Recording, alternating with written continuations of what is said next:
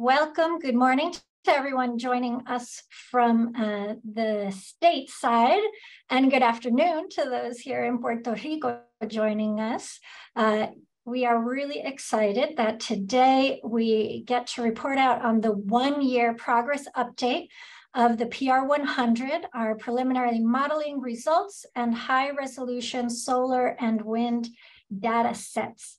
Uh, we are going to be with you for the next uh, hour and 15 minutes for what we hope will be a really informative uh, presentation and conversation. You can jump to the next slide. Uh, my name is Charlotte Gossett Navarro, and I am the Chief Director of the Hispanic Federation here in Puerto Rico we are working with the National Renewable Energy Lab to support the stakeholder engagement here of the PR100 study. And today I will be your moderator. You can jump to the next slide. I want to review with you our agenda today. So after we do our welcomes, we're going to hear opening remarks from Dr. Martin Keller, the director of the National Renewable Energy Laboratory, uh, followed by remarks from the Secretary Jennifer Granholm of the US Department of Energy. Then the lab team is going to go straight into the one year updates of the PR 100, followed by uh, a great discussion with Secretary Granholm, Administrator Dean, uh, Deanne Criswell, and Puerto Rico Governor Pedro Pierluisi on the implementation. After that, we're going to have time for some question and answer. We can jump to the next slide. So some basics of the webinar today. We do have Spanish interpretation available. Tenemos interpretación en español. You have to click on the little globe where it says interpretation on the bottom of uh, your Zoom page. We also there have the option for American Sign Language. All of your audio and video is muted here. So if you do have questions, please share them in the Q&A portion of the webinar. You can also use the chat function to share uh, ideas, introduce yourself so we know who's on the call. Um, but if you do have questions, we don't want them to get lost in the chat, so please put them into the Q&A. Some of those questions we'll be able to answer live and in writing, and others we'll hold off until the end to be able to answer. Today's uh, meeting is being recorded. You will and will be shared with you later. So with that, I want to jump right into today's presentation, starting with our opening remarks. And so again, we're going to hear first from Dr. Martin Keller of the National Renewable Energy Laboratory, and then we will be hearing from U.S. Secretary of the Department of Energy, Jennifer Granholm. And so I'd like to welcome Director Martin Keller. So thank you, and hello to everybody it's really fantastic to have so many gathered here to learn about the progress that have been made over the past year since we launched the PR Puerto Rico 100 study. It's a great privilege for us to support Puerto Rico in the goal of transitioning to 100% renewable energy by 2050. The vision and leadership that display our model for other communities. In the first year of the two-year study, NREL researchers have worked together closely with counterparts at Argonne, Lawrence Berkeley, Oak Ridge, Pacific Northwest, and Sandia National Laboratory to create a modeling foundation to assess Puerto Rico's pathway for reaching its energy, resilience, and justice goals for all of its residents. In the first year, the team identified feasible scenarios for the Puerto Rico to achieve its goals as set forth in Act 17. You will be hearing about the progress in this webinar. And now it's my great honor to welcome the Secretary of Energy, Jennifer Granholm. Her passion and commitment to a clean energy future for all inspires and guides all of us to do this work. Madam Secretary, thank you for being with us. Of course. Thank you, Martin. And hello, everybody. It is wonderful to see what do we have 659 so many people tuning in today because this is so utterly important the future of puerto rico's energy system um, so as many of you know in 2019 puerto rico set a series of, of really bold commitments leading to this goal of 100% renewable electricity generation by 2050 and the Biden Harris uh, administration stands behind Puerto Rico's efforts to meet those commitments. Our PR 100 study is all about figuring out how, how Puerto Rico can meet their, their goals. So let me just take a moment to thank DOE's Grid Deployment Office and the staff that is spread across six of our national labs who are working to lay out these pathways that Puerto Rico can take to, to reach that 100% goal and to build what uh, is a truly resilient and reliable power system all along the way. Um, the PR100 group kicked off this two-year study last February, knowing just how critical these goals are to Puerto Rico's safety and to Puerto Rico's well-being. And the urgency has only grown after Hurricane Fiona, which category one storm, uh, after that storm wreaked so much havoc, President Biden created the Puerto Rico Grid Modernization and Recovery Team and asked me to oversee it. And in the time since, we have set out to cut through bureaucracy, to get federal funding moving to fix Puerto Rico's energy uh, challenges. We've traveled to Puerto Rico to meet with uh, you and hear directly from, from local officials and community leaders about the challenges on the ground and be back uh, again very soon, like next week. Um, we've tapped uh, the first chairman of the Puerto Rico Energy Commission. His name is Augustine Carbó. He will be um, moderating the conversation uh, later in the webinar, and he's going to be the team's director on the ground there in Puerto Rico. And with Augustine as our eyes and ears on the ground, we've really deepened essential partnerships with, with folks throughout the Puerto Rican and federal government. And, and with those partners, we're actively, actively working to accelerate approval for new clean energy projects and to help rebuild the existing energy infrastructure. This Puerto Rico 100 study can really help to guide those projects, ensuring that they're informed by local knowledge and designed to meet local needs and, and following local priorities. This is all about the partnership with Puerto Rico and informed by Puerto Ricans. We were, as we said, we're just at the halfway point of the study, but we already have these key findings that will, uh, can and should and will shape our grid modernization efforts on the ground this year. Um, so, for instance, we can now say with confidence that Puerto Rico has the potential to generate enough renewable energy to meet uh, its total demand now and through 2050. And we also know that uh, simply stabilizing the grid and meeting an acceptable standard for reliability is going to require hundreds of additional megawatts of generation capacity right now.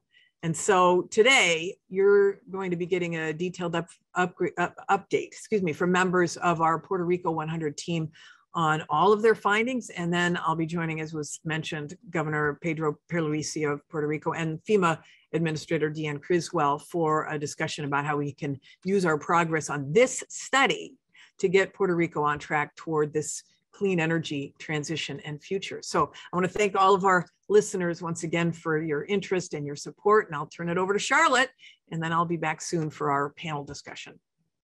Thank you, Secretary Granholm and, and Dr. Keller for your opening remarks. Uh, now we're going to jump into a little uh, poll because we want to learn who is here with us, who is engaging and, and how much you already know about PR100. If you can believe it, it's already been a year since this first launched. And so there have been a lot of different ways that the PR100 study has tried to engage and share information with uh, the community and with stakeholders across Puerto Rico and across the states. And so if you could take a moment, the link to the poll is in the chat. If you open that up, you can also do it on your phone by texting NREL Webinars 303 to the number 22333. And then let us know which of these uh, activities you have already participated. For some of you, this may be the very first time you're engaging with the PR100 study. Some joined us a year ago uh, in February 2022 when they first announced what was going to be happening for the, new, uh, the next two years. Uh, this summer, we did a six month progress update that we know a lot of you joined us for. And then hopefully we have some of our members of the AG team here as well, our steering committee team or the project team joining us uh, who are the folks who are engaging almost monthly in this work? Well, certainly for, for some of the project team, this is probably more of a daily activity, but our AG team has been meeting nearly monthly uh, to help provide input into this. So let us know who's joining us. Right now, it looks like for many of you, this is the first time that you are joining, which is actually really exciting because we do want to more and more have new people engage, understand what the PR100 is, and really begin to be able to, to participate. And we're gonna share later ways that the general public can participate in this. So this is great. Wow, there's a lot of people here for the first time who will be hearing about this information. And so then with uh, that, oh, I'm, I'm seeing that some folks are, are not quite understanding. Oh, we're putting it into the Q&A here, the answers as well. So we have a lot of people A in the Q&A. We have some people in the chat as well. Again, if you if you didn't, you can click on the link in the chat and it'll take you to a website where you can complete that survey. But as we see, most of the people so far who have completed it are here for the very first time. And so with that, I'm going to jump us then right into the PR100 update. If we can go to the next slide, because I want you to hear from the lab team. And so today we're going to hear from a portion of the lab team. There are quite a lot of people who have been working on the PR100 study, and four of them have joined us today to give the updates of year one. We have uh, Robin Burton from the National Renewable Energy Lab, Nate Blair from the National Renewable Energy Lab, Tom Harris, also from National Renewable Energy Lab, and we also have Marcelo Elizondo. So we are going to start by passing to Robin Burton of NREL. Thanks very much, Charlotte, and thanks to all of you for joining us today. As Charlotte mentioned, it's really exciting to see that many of you have participated in previous events and that more than half of you are joining us for the first time. So welcome to all of you. Again, my name is Robin Burton. I'm a researcher at the National Renewable Energy Lab, and I'm co-leading the PR100 study. My fellow presenters and I speak to you on behalf of the dozens of researchers from across the six national laboratories contributing to this effort. We're excited to be at the halfway point of the study and to share some of our preliminary findings with you. These preliminary findings were also released today in a summary report in English, and a Spanish version will be available in coming days. We're also publishing slides from today's presentation in English and Spanish, along with recordings of the webinar. I do want to emphasize that these are preliminary findings and our final results will be published at the end of this year. And for those of you not yet familiar with the study, we'll start with a quick overview. Next slide, please. So what is the PR100 study?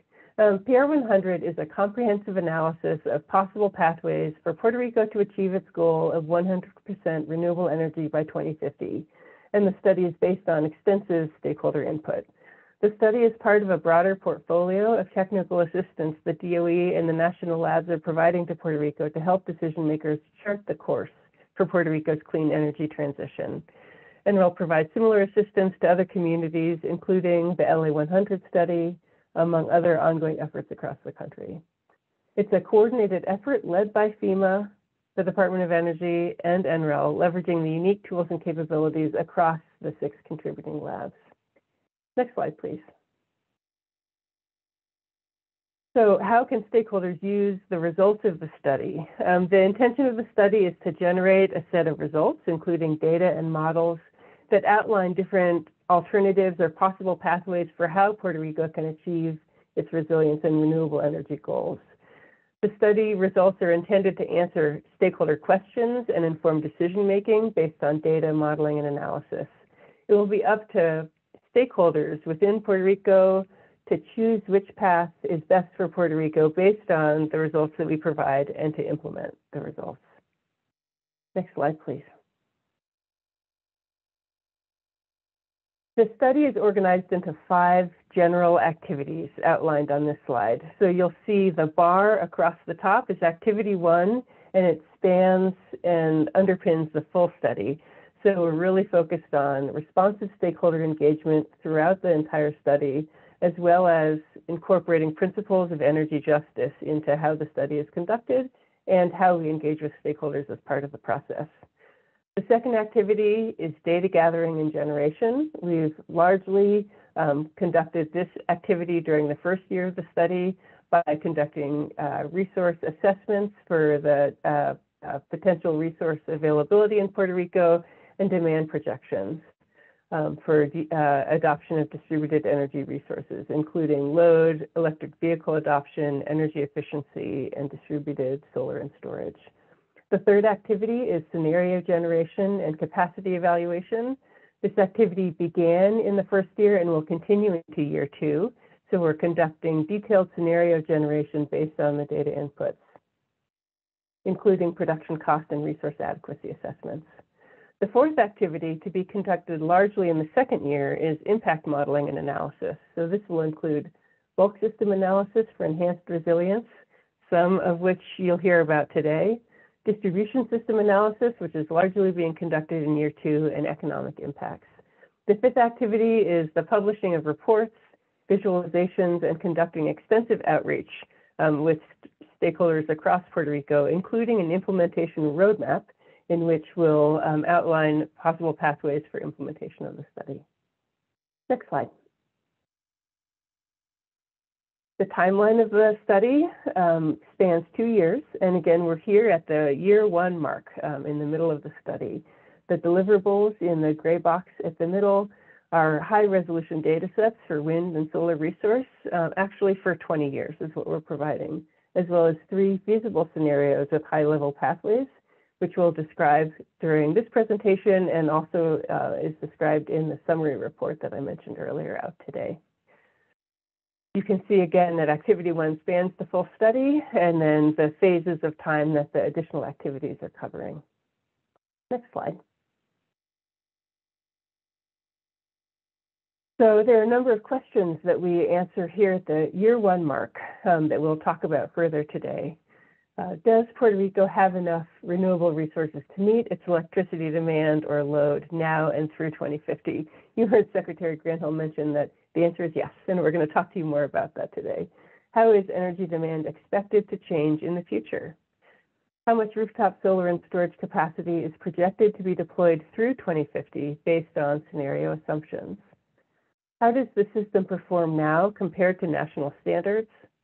What are the areas most impacted by hurricanes across Puerto Rico? And what do Puerto Ricans prioritize in the transition to renewable energy? So again, we'll aim to answer that these questions today and in the summary report. Next slide.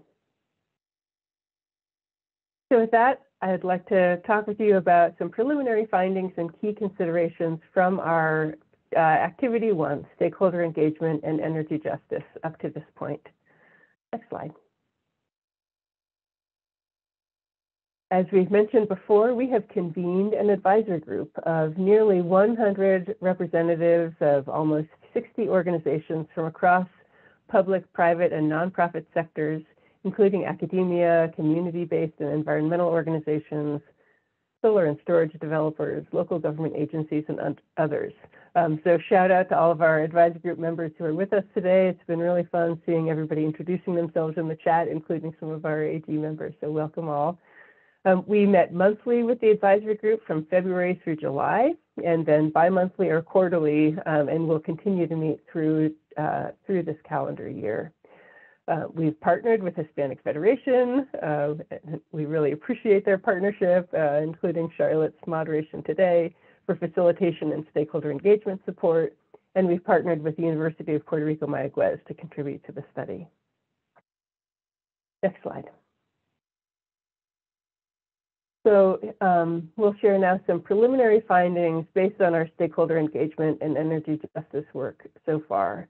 Uh, we've heard from stakeholders or from advisory group members in particular that um, they really value the PR100 advisory group as a neutral forum where stakeholders with a diverse set of perspectives can come to together can come together to discuss Puerto Rico's energy future um, within this context.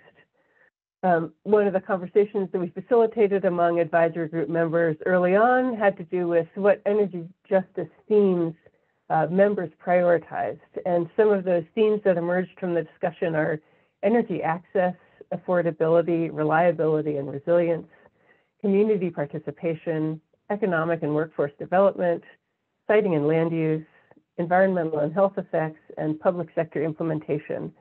So we really appreciate hearing that feedback and then taking it to incorporate into how we are conducting this study throughout the duration. Uh, we've also conducted, we're conducting a social burden analysis as part of the energy justice task. And our baseline social burden analysis in the, the early phase highlights inequitable access to critical services across geographic areas during normal grid operations. That analysis will continue into year two and final results will be included in the, in the final report. We're also conducting a climate risk assessment as part of the energy justice task. And initial climate risk assessment results illustrate a temperature increase of 1.5 to 2 degrees Celsius and a precipitation decrease of up to 20% across the entire archipelago by 2050. The chart on the right shows the distribution by sector of advisory group members represented um, in the group. Next slide, please. So key considerations from our work in the energy justice space in particular are, uh, and based on the literature review, engagement with stakeholders, um, are that energy justice involves prioritizing access to affordable, resilient electricity and high quality energy sector jobs and economic opportunities for the most vulnerable utility customers. An important way to work toward energy justice is by developing a process to ensure broad and meaningful stakeholder participation in the planning, decision making, and implementation of the pathway to 100% renewable energy. Next slide. And with that, I'll turn it over to my NREL colleague, Nate Blair, to discuss feasible scenarios. Over to you, Nate. Great, thank you, Robin. I'm really excited to be here as well. Um, next slide, please.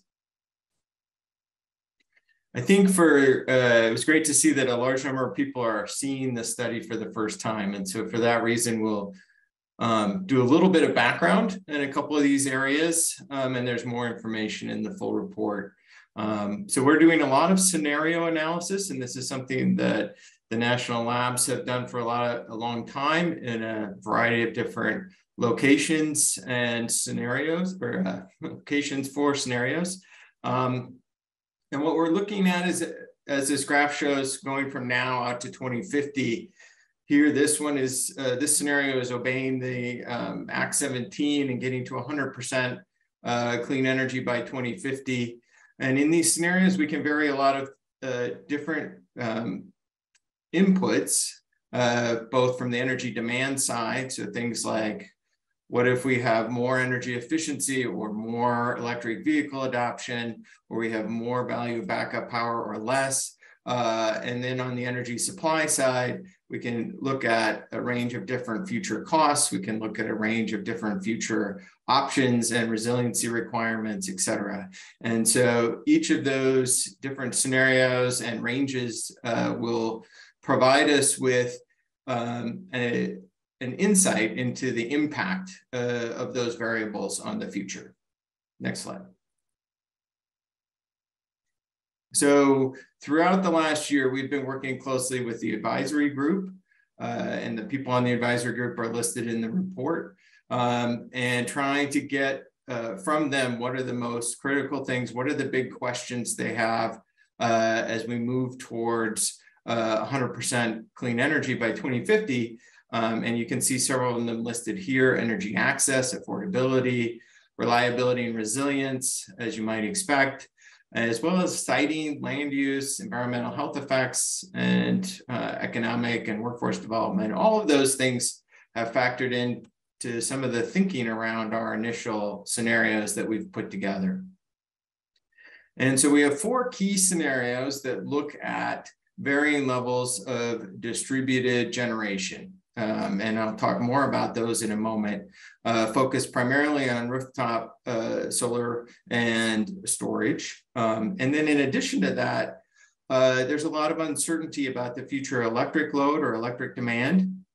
And there are a lot of questions about land use, particularly around the inclusion or exclusion of agricultural lands for large scale renewable development.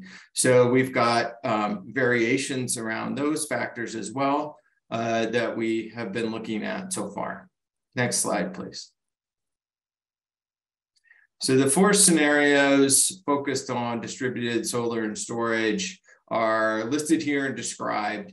Scenario one uh, looks at uh, what are the economics for the individual building owner as they seek to adopt or not uh, rooftop solar and storage. Um, what are those economic levels? And then the next one adds in, let's make sure that all the critical services like hospitals, fire stations, grocery stores are also covered with uh, rooftop PV and storage, so they're resilient in terms of uh, emergencies. And then the third one says, well, let's take that scenario and then make sure that remote and low and moderate income households are covered.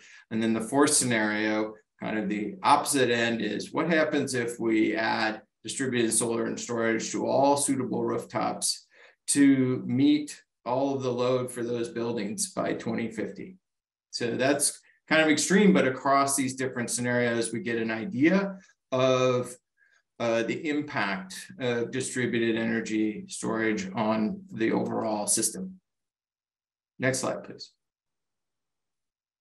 To do this, we use a tool uh, that's been developed at NREL called DGen or Distributed Generation Market Demand Model. Um, and it assigns inside of the model a uh, kind of a computer agent to represent each of the different kinds of demographics that we look at, residential, commercial buildings, industrial buildings. Then it applies a series of restrictions, how much rooftop uh, is available, um, you know, what are the, uh, where can we put them close to these buildings, et cetera. Um, and then on top of that, then we do a series of economic calculations to look at here's what you would pay for electricity without the system, here's what you would pay with the system.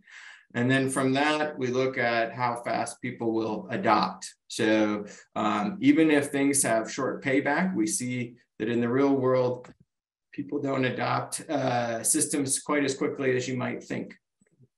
Next slide, please. So we've got some results. They are preliminary. Uh, I think the key takeaway here is on the bottom of the screen where we show that Across all of these scenarios, the adoption of distributed solar and storage is projected to increase considerably.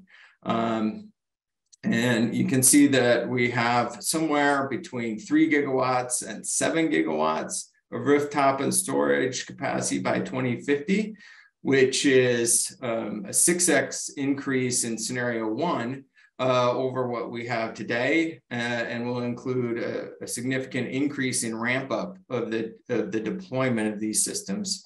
Scenario four is a 16x increase over where we're at today, uh, which uh, is a significant increase even beyond that in terms of the deployment rate. So we're reaching these high levels in the modeling. And uh, what does that mean for the rest of the system is a question that we continue to uh, ask and answer uh, in other modeling steps. Next slide, please. And we're in scenario one with our roughly three gigawatts, we're covering over 60% of the commercial buildings. That is exceeds uh, the fraction of commercial buildings that are these critical facilities, hospitals, fire stations, grocery stores, et cetera.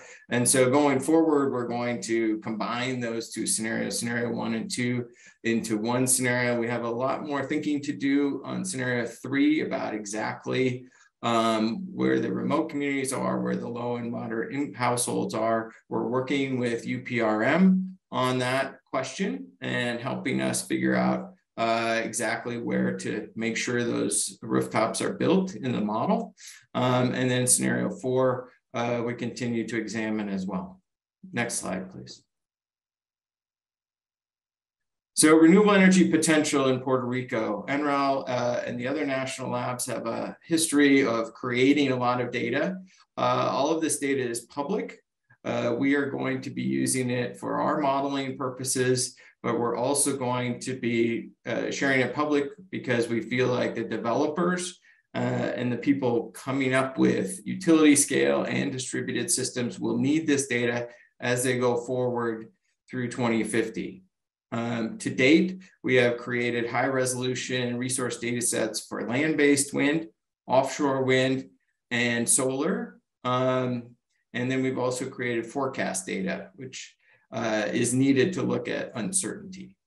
So the solar resource data and wind resource data are all already available. We are working on marine hydropower and pump storage hydropower at this point, and as those get finished in this next year, those data sets will also be uh, made available. Um, we are examining other resources uh, and sources of renewable electricity as well. And as uh, resource data is needed for those uh, technologies, we will be developing that as well. Next slide, please. Okay, so next poll question to make sure uh, everyone's tracking along. What's your best guess about the amount of renewable energy resource potential in Puerto Rico compared with the local energy demand? A, it's not sufficient. It's roughly equal to the demand, more than double the demand, more than 10 times the demand. And we'll give people a minute uh, to look at that, enter those in. Again, the link for the website was in the chat.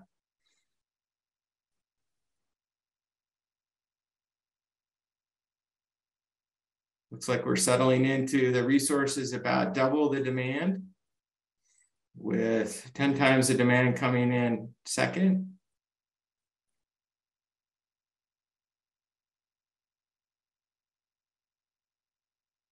All right, so 44% is at double, 28% is at 10 times. So next slide, please. So the, the answer that we've come up with to date is that the resource is more than 10 times uh, the demand. And so if you, which is great news um, as we head towards 100% uh, renewable energy. As you see on the right here, we've got a number of the resources that we've already examined. I talked about rooftop PV, utility PV, utility wind, offshore wind, ocean thermal, existing hydro, biofuel engines. We can import the biofuel, and that can be uh, uh, almost uh, a very large amount of potential. So the total there, not including the biofuel engines, is, uh, as you can see, over 200 terawatt hours of potential even in the more restrictive case where we're not including agricultural lands. I have another slide on that in a minute. Compare that to the annual load in 2021, uh, which is just under 19 terawatt hours. So you can see that uh, as we make use of these resources, they are uh, really significant, and that's great. Um, so the preliminary finding is that the resource significantly exceeds uh, the current and projected annual loads and that the adoption of solar and storage is projected to increase in, across all scenarios. Next slide, please. So we've looked at the land availability in great detail, and this is a solar slide. I have another wind slide. As you can see, as we remove places where you cannot build utility scale solar, so large, larger solar farms, um, and we're assuming that about 10 megawatts is our lower limit on this. Below that, we would call that maybe distributed.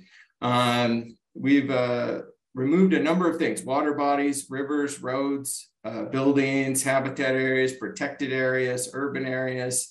We have a contiguous land requirement. So you have to have, can't have a little chunk here and a little chunk there.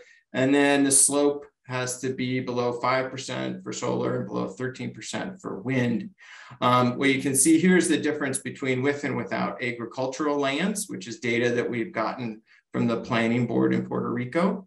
Um, as you zoom in on the left, you can see that yes, there still are significant areas where you can build PV, um, or sorry, solar, but um, it is fairly restricted. Next slide, please. And this is a similar statement for wind. There are, uh, as you can, as your eye will tell you, there are more places where you could still build uh, a wind farm or wind turbines. Um, and, uh, but again, the amount when you uh, take out the agricultural land uh, is less uh, and with agricultural land is more. So next slide, please. So we've got a couple of findings here. Um, if only the utility scale solar and land-based wind resources were deployed. So if you're only using those two, which are restricted without agricultural land, um, Puerto Rico could not meet its renewable energy capacity targets. So therefore, what we're now starting to think more about in year two is identifying alternate system configurations for deployment on smaller specialized areas. So those would be things like brown fields, those would be things like um, floating PV uh, and, and, other um, options on that front. Next slide. So let's talk about the load. I talked about how it compares to the resource. Um, and as you look in the graph on the right here, uh, we are looking at two uh, load projections into the future. There's quite a bit of uncertainty around the overall load or demand of electricity for the island. And so we've worked uh, with a number of groups and taken a lot of data to look at the green line, which is on the bottom. We're calling that the mid case load. Um, and that was going, the, the end uses, so the part that's used in the buildings is going to be going down into the future. Uh, and that's consistent with uh, other analysis in this area. And then we've added on energy efficiency as an option, and that will further reduce uh, the load. Then we're looking at the inclusion of electric vehicles, and we have projections for those, um, and that will increase the load. And then on net, uh, we get this uh, green line here, which decreases. We are also looking at a stress load, which is more the orange line. Uh, and the orange line we want to increase so that we have captured that uncertainty between those two lines. Um, what's left after this uh, load is uh, um, created is to meet that load with the distributed uh, PV and storage. And then what's left after that the net load from there will be met with uh, the conventional grid. Next slide, please. And with that, I would love to turn it over to my friend Tom Harris from NREL to talk a little more about scenario modeling. Thank you, Nate, and thank you all for the opportunity to talk with you about our work so far. As Charlotte mentioned, I'm Tom Harris, and my work focuses on optimization of systems. Um, in this section, we will talk about modeling of a large-scale power system based on scenario definitions, data, and analysis that Nate described. And this analysis is designed to optimize for the lowest cost future. Uh, Tom, if I can interrupt you for one moment, we're uh, having a little trouble hearing you with the audio. I don't know if there's an adjustment perhaps you can make. It's coming in a little bit uh, in and out and, and a bit muffled. I think that's all I can do on my. I'll try to speak up a little bit. Still, uh, well, let's give it a try. Let's see if we can hear you a little better now. Yeah, so so our analysis in this uh, this section is designed to optimize for the lowest cost future grid portfolio uh, that is capable of serving the projected load, the reliability and resilience requirements for scenario. Next slide, please. This diagram uh, on this slide illustrates the inputs to and the outputs from the analysis at a high level. Uh, as the yellow boxes show, the inputs to the analysis are a representation of the existing power system. The planned generated Tom, Tom, I'm sorry to keep interrupting you. We're still having quite a lot of difficulty understanding. I don't know if there's a, a phone option perhaps that you could you could call in. Let me try, uh, try a headset. Yeah, headset. See if that helps. Just want to make sure, I know these are important slides. I want to make sure everyone understands what you're sharing.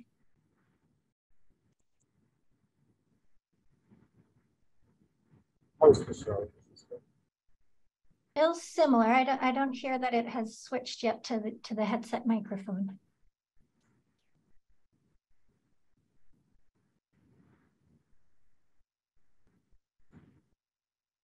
And um, we have a couple of offers for alternate presenters. Nate offered to speak to slides, and so did Cameron. Um, and because the audio issue is persisting, I think we, it would be good to pivot to one of those choices. Thank you. Thank let's, you, Robin. let's give it one more shot. How's this? Oh, we hear you now, Tom. much better, Tom. Sounds good. Thank so you sorry, to everyone. Participants for, for patience. Technical Yeah. difficulties are sometimes inevitable. Thanks, I Don. apologize. Yeah, and we'll scoot over this slide very quickly, but we're just illustrating here the inputs to the model, which you can see are the existing system representation, the planned deployments and retirements currently on the books, the distributed energy resource capacities that Nate spoke about, and the future technology options for the system. These include generators, transmission, storage, and then the attributes of those technologies such as efficiency, their resource poten potential, the fuel mix, and so forth. Um, the output of the model is the least cost system that meets the load, respecting all requirements and limits. And uh, those outputs in more detail are the list of optimized output capacity, uh, assets capacities, the transmission and the storage capacities, the overall investment costs, the operational costs, and so forth. Next slide, please. Uh, there are two findings of particular interest. First, um, in the bullets below, in the limited land scenario, there is not adequate land for cost optimal deployment of utility scale wind and solar, that is if no agricultural land is used. Uh, but as Nate said, that doesn't mean that there is not adequate resource around the island, including offshore wind and so forth.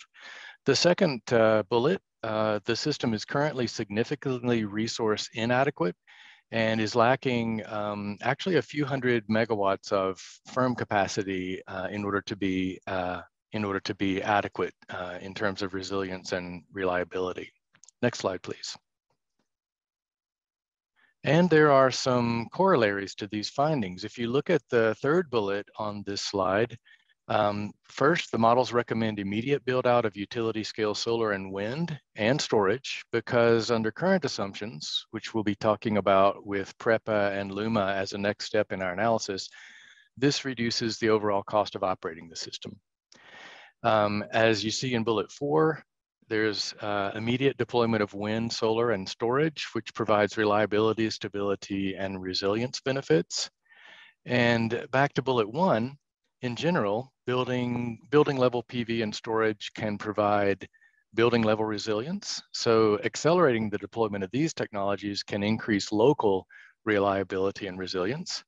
And then in bullet two, virtual power plants, which allow the grid operator to use local storage to support the larger system, can provide reliability across the system and in later years can mitigate duplication of distributed scale and utility scale resources. Next slide, please. And then some findings specific to Puerto Rico's planned procurements and goals mandated by Act 17. In the first bullet, we see that the planned tranche one deployments of PV and storage will help address, but be inadequate for the immediate need for generation capacity on the system. Uh, hence the need for rapid deployment of, of uh, resources. Furthermore, bullet two, the planned tranches are inadequate to meet the 40% reliable uh, renewable portfolio standard requirement of Act 17 by 25, 2025. And I think there was a question to that effect. Um, in general, wind is expected to be more cost effective and more energy productive per unit of capacity than solar. However, the requirements do not discriminate between wind and solar, and the current proposals are mostly for solar. Uh, it would provide clarity and support for the Act 17 requirements if the tranche requirements could be specified in units of expected electricity production rather than nameplate capacity. Um, and then finally, the investment decisions for both the bulk power and the policy for distributed energy resources should be coordinated and informed by long-term planning because the rapid deployment of utility scale technologies uh, needed for economic operation and reliability could lead to at least partially stranded assets if distributed resources are adopted more slowly, but eventually dominate the, the energy supply. Next slide, please. And at this point, I'll pass the presentation to Marcelo. Thank you very much. Hello, hello everyone. Uh, this is Marcelo Elizondo. I am from the Pacific Northwest National Lab.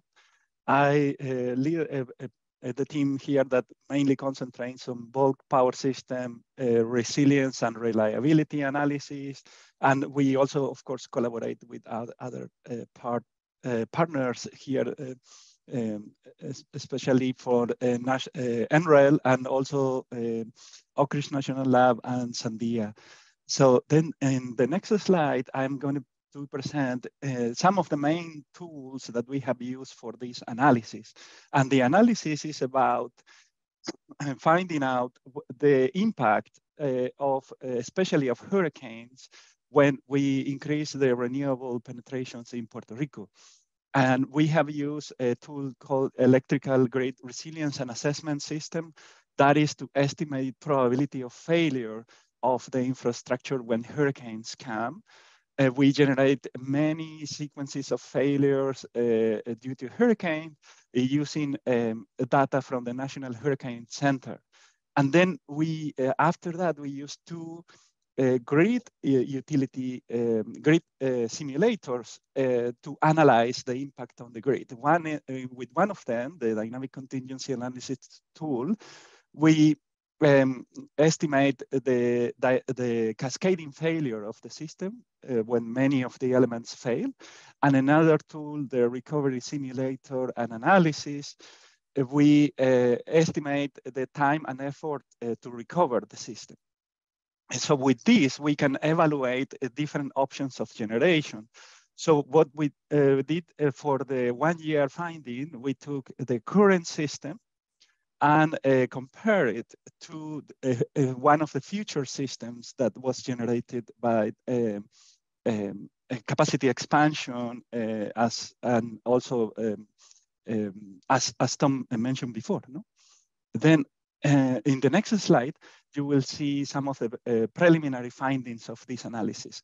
So when we compare the, the one of the future system the future system has smaller renewable resources uh, spread across uh, several locations in the system. That system recovers faster than the current system, where the current system, as we know, it has a large power plant concentrated in a few locations. So when we have more generator generation available, we can recover the system uh, uh, faster we also, in that analysis, we uh, identified the last 10% of uh, substations that can be recovered, that, which is shown in the, in the figure there with the stars. And these last 10% uh, uh, of substations are, uh, tend to be in the mountainous and rural regions. And and some very important uh, aspect is also the black start capabilities of uh, the renewables um, that if you have a black start capability in many of these uh, renewable generators or energy storage, you can have uh, recover the system faster, up to uh, three times faster than if you only have very limited black start capability in the system. So the next slide also expands on grid updates and uh, storage um, uh, findings.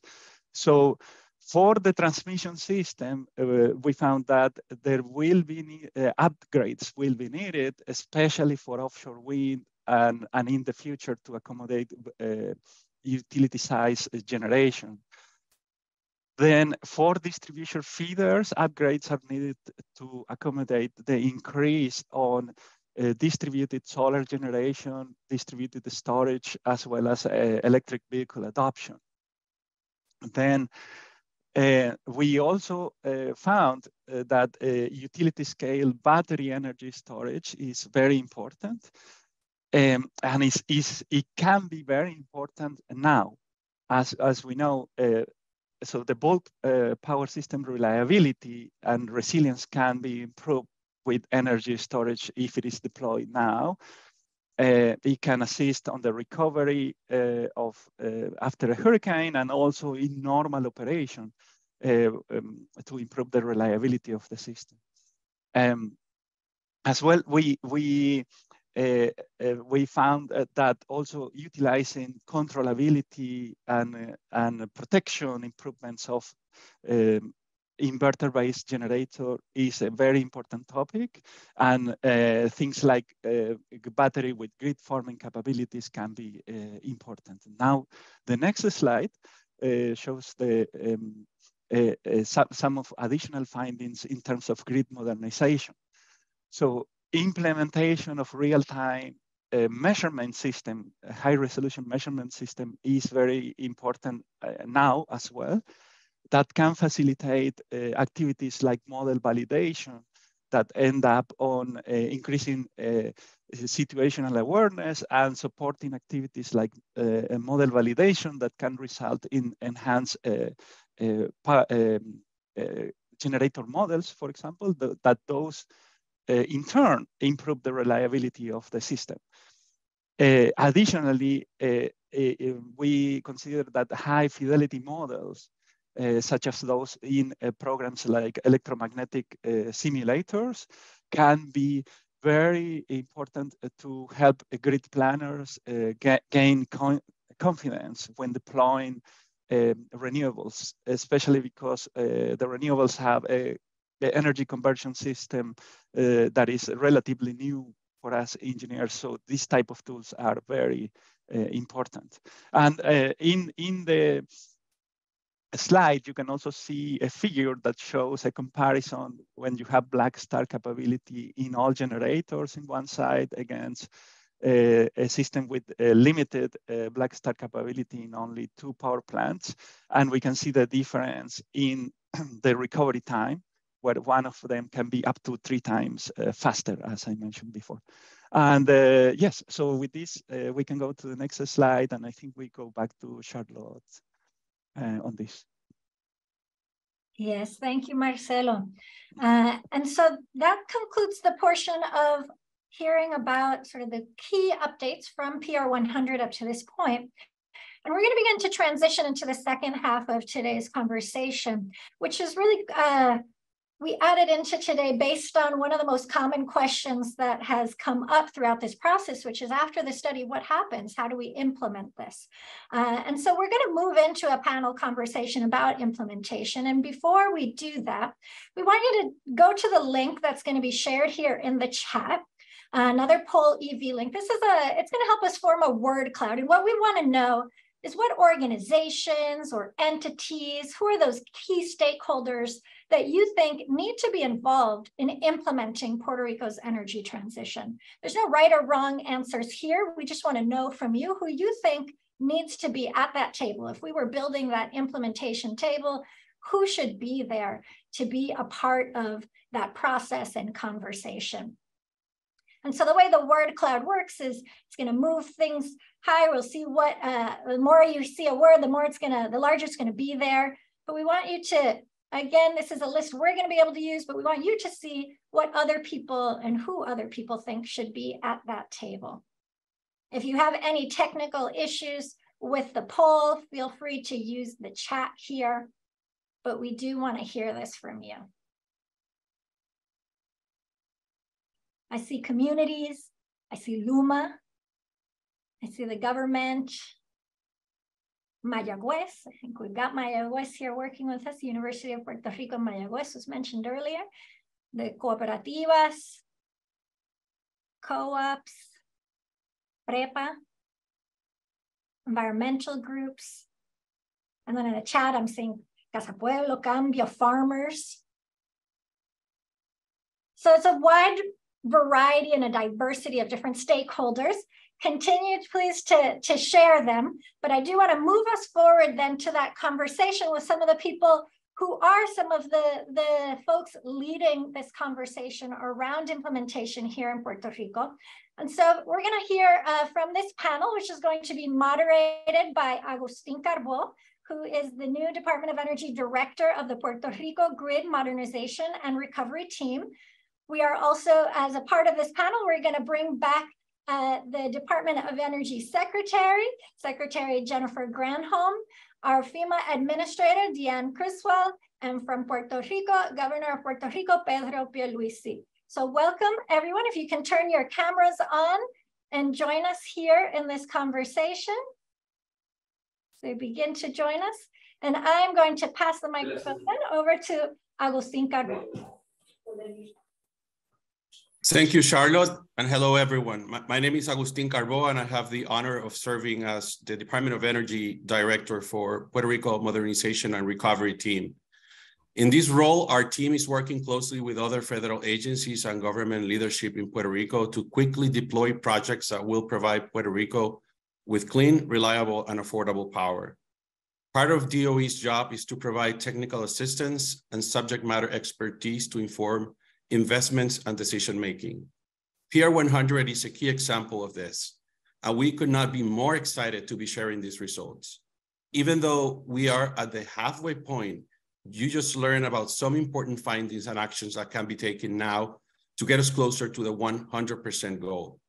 Today, we have asked DOE Secretary Jennifer Granholm, Puerto Rico's Governor Pedro Pierluisi, and the Administrator of FEMA, Deanne Criswell, to join us in this panel to answer some of the questions that you all provided through the registration form and discuss these initial findings and how they are and will be implemented. So let me start with uh, Governor Pierluisi. Buenas tardes, Gobernador. Buenas tardes, Agustín. Uh, Governor, the results you just saw are the product of the nation's best modeling and analysis cap capabilities and the guidance of our advisory group with over 100 members representing a broad set of stakeholders in Puerto Rico. We have heard concerns that time is of the essence for the implementation of these findings to ensure that the best PR 100 scenarios become a reality. So let me ask you, how committed are you to implementing the pathways to 100% renewable energy? My commitment to the transformation of Puerto Rico's energy system is unwavering. In fact, my administration's goals and ongoing work of the PR 100 team are aligned, and I have taken concrete steps to ensure that our people have access to clean, resilient, and distributed electricity in Puerto Rico. I must highlight the support the federal government has provided, particularly Energy Secretary Granholm, to help us reach our goals. The level of expertise we have amassed from all resources working with PR 100, including the six national laboratories, which are collaborating, as well as so many community stakeholders, has been essential to guarantee our success. This participative process is a vital part of the adjustments and updates to our public policies and to Puerto Rico's integrated resource plan. It is clear that the results of the PR 100 study will bring great value to the revision process of our, our IRP. It is important to highlight the progress that we have achieved towards our goal of reaching 100% renewables, even as we acknowledge implementation delays before my administration, including those caused by the pandemic, which presented unique challenges in this and other areas. For example, in the past two years, over 45,000 rooftop solar systems have been interconnected into our electric grid which is more than had been done in the previous 10 years. We have provided grants and incentives for distributed energy generation for low income households and small businesses with CDBG on ARPA funds. We have accelerated the contracting of eight, 18 utility scale projects of renewable energy to be integrated into our grid, and several of them are already in construction or, pre or in the pre-construction phase.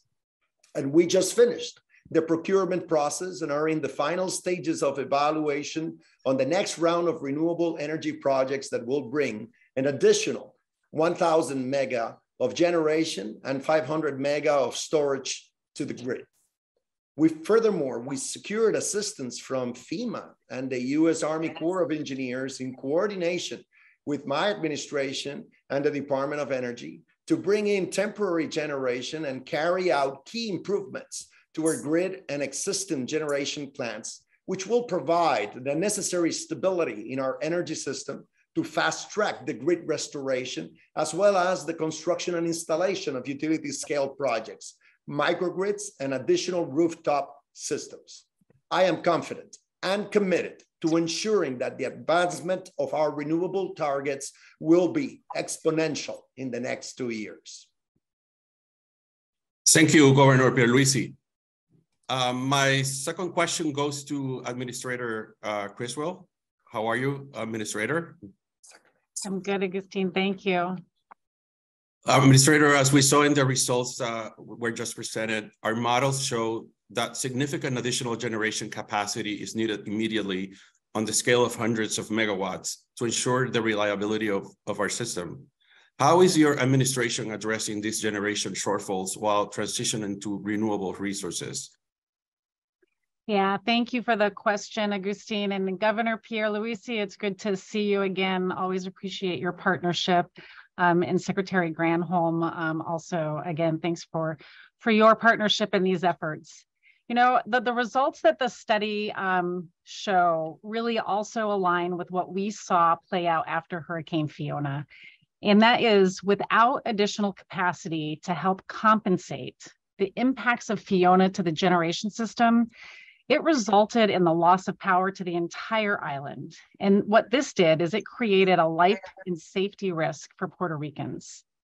So even though power was restored, that lack of capacity, it created a sustained risk of power outages following Hurricane Fiona. So that's why before Puerto Rico can move to 100% renewable energy, the existing power system must be stable.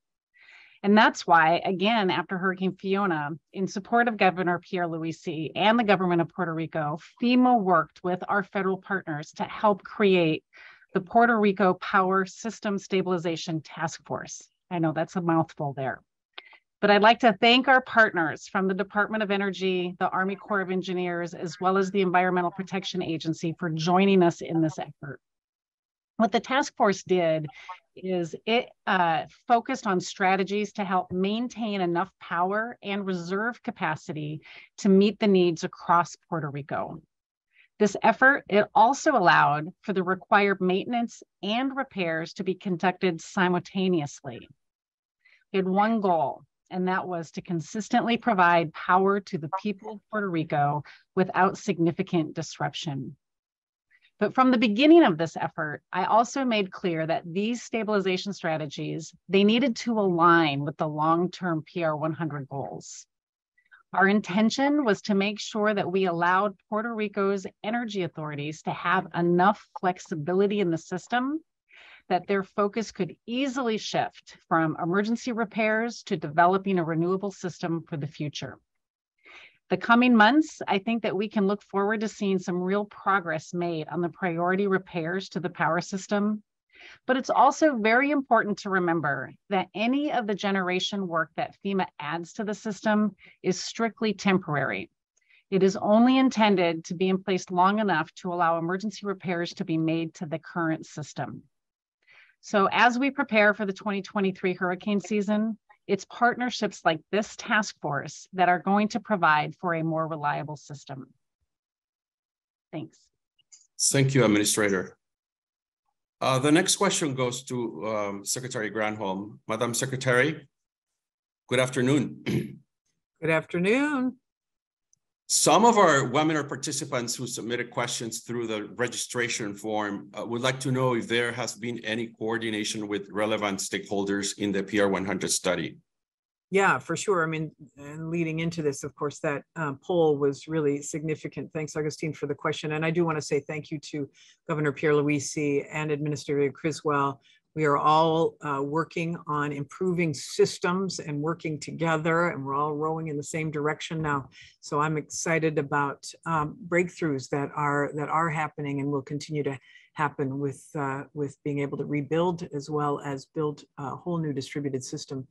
Um, thanks to those who raised this question. I just, uh, you know, we approach this work with the um, very keen understanding that the only way that this transition uh, is going to succeed is if there are paths forward that work for Puerto Rico and for its residents. There's no sense in putting together a roadmap that Puerto Ricans can't or, or, or won't buy into.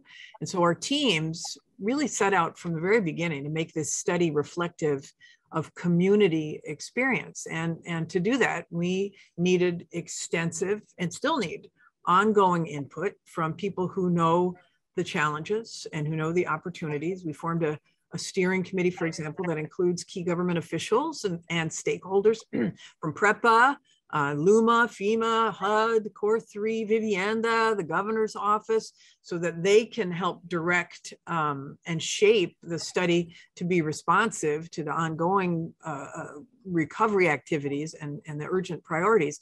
But we also assembled this advisory group of nearly 100 local experts that represent this broad range of perspectives from, from academia to community leaders to environmental advocates, um, retail and manufacturing groups, legal minds, folks in finance, and more. And so the government groups and, and the uh, community uh, side have worked together to really give us invaluable input as we develop and we analyze these scenarios that, that achieve a full transition to renewables by 2050 while still improving reliability and resilience and energy justice and affordability, all of those things.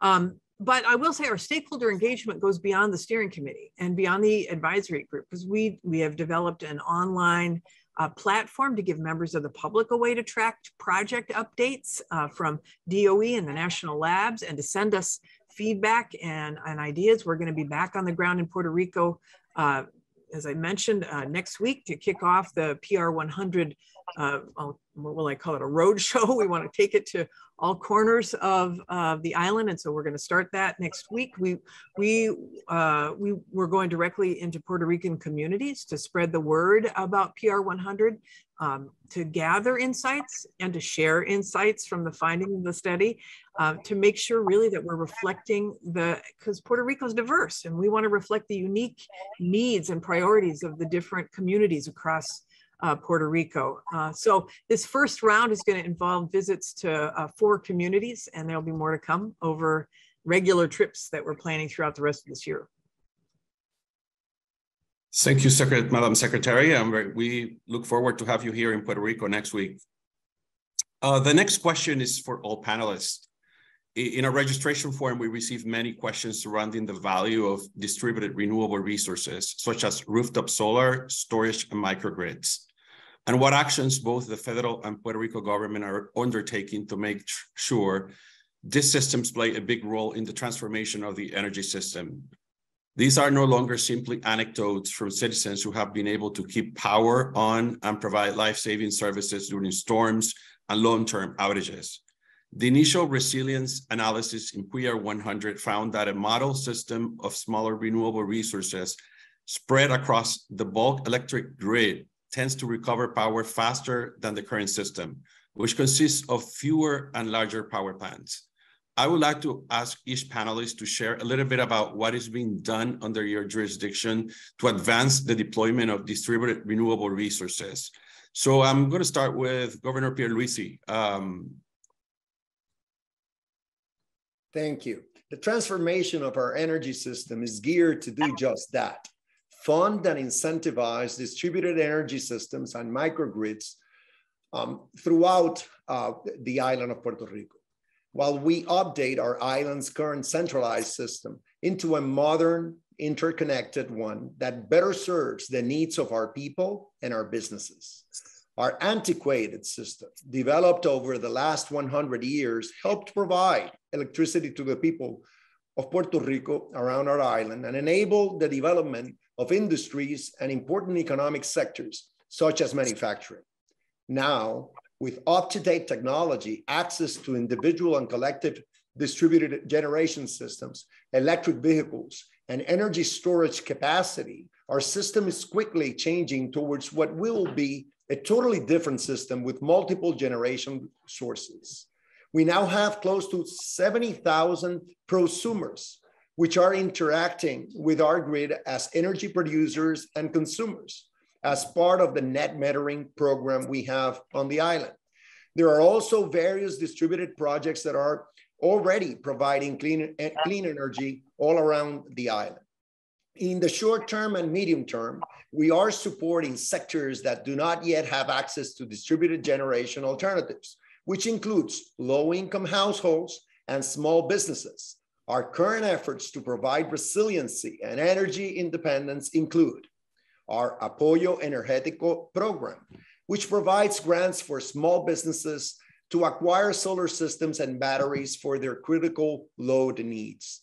We have already awarded incentives for 888 small businesses across Puerto Rico with an allocation of $20 million from ARPA funds.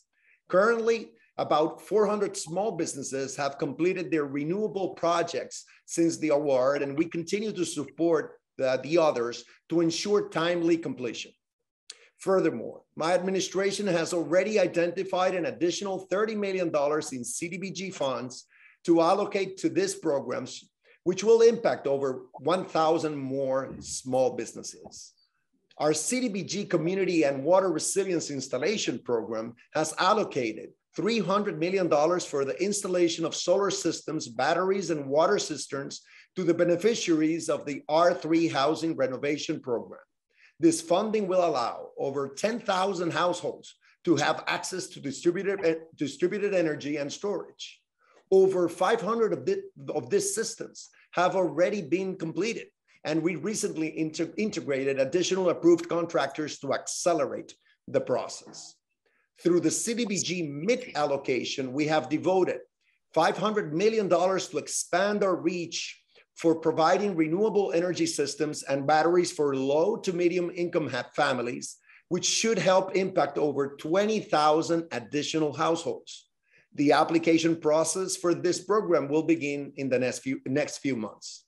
In addition, Congress just appropriated $1 billion to increase Puerto Rico's energy resilience, which in collaboration with the US Department of Energy, we will also work to deploy for the installation of renewable energy systems and storage to low income and disabled uh, residents throughout the island. Likewise, we have allocated $1.3 billion from the CB, CDBGDR funds, actually from the CDBG uh, funds, to develop microgrid projects, which are essential to maximize the use of clean energy assets and enhance their resilience at a larger level. As the first project under this program, we are developing a microgrid for Centro Médico, our main medical facility on the island. For this project, a dedicated team assisted by the DOE is currently working to have the request for proposals ready during the next few weeks. Other additional microgrids that we are identifying across Puerto Rico will be able to receive up to 40% of the project cost from this funding. Our main objective is to maximize the clean and reliable energy assets that we have and that are currently being developed to serve our communities during any event. We are at a critical juncture in the transformation of our energy system, for which we have great momentum right now. I am confident that in the months and years ahead, our shared goals, including the PR 100 recommendations, will be underway and the progress will be felt by all in the form of equitable access to reliable energy. Gracias, Gobernador. Uh, now back to um, Madam Secretary. Same questions to you. And the question is about how, what are we doing about distributed generation resources? So, um, correct. Uh, we at DOE, obviously, we believe the distributed renewable solutions are just a critical piece of the resilience puzzle. Um, I've heard through our advisory group from communities like Casa Pueblo that have set up uh, solar and storage systems after Hurricane Maria, and, and those systems avoided catastrophe when, when Hurricane Fiona hit. So we know the systems work. Uh, we know their value. And the point is, as you just suggested, Augustine, is that we have to ensure that these are not just um, one-offs, just anecdotes, but, but that we are deploying these at scale. And to do that, we've got to tackle the upfront costs. And so as Governor Pierre Pierluisi said, the great news is that thanks to the spending package that President Biden signed in December, our grid deployment office now has a billion dollars for activities like rooftop solar that will improve resilience for Puerto Rico's electric grid. And those activities um, that will, you know, will include things like providing grants to low and moderate income households for buying and installing uh, distributed renewable solutions like rooftop solar and storage. So we've got we now have some, fi- we, DOE, has some financial skin in the game. We're gonna go to work. We're gonna work quickly to design and implement this program with input uh, from Puerto Rican communities. And at the same time, our labs uh, are the best in the world when it comes to technical assistance and Puerto Rico PR 100 is elevating what they can offer. For example, the study that you just heard about is giving us a better understanding of where distributed resources will offer the biggest uh, boost for resiliency, particularly for Puerto Rico's most vulnerable populations. And, and that study is also going to show us what kind of grid improvements would allow for the safe integration of those new systems. And we're going to be sharing all of that uh, with PREPA uh, and with LUMA who can then incorporate it into their ongoing efforts. And of course, at the same time, we've been closely collaborating with Vivienda because they are designing that $1.3 billion separate $1.3 billion program that's focused on using those microgrids and community solar to enhance um, resilience and reliability. Super excited about Centro Medico, for example. So all told, we are uh, ready and willing and able and eager to work with communities and give them you know, the tools and the knowledge to design and deploy systems that fit their needs. Thank you, Madam Secretary. And last but not least, Administrator Criswell, what is FEMA doing to advance the deployment of distributed renewable sources in Puerto Rico?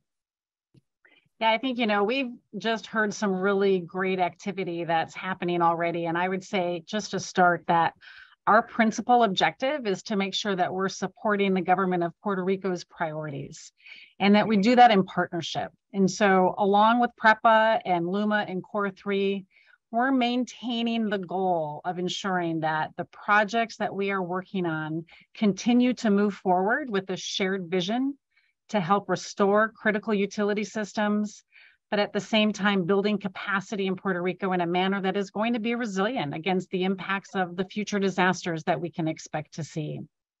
You know, as part of this, FEMA approved the largest obligation of public assistance funding in our history.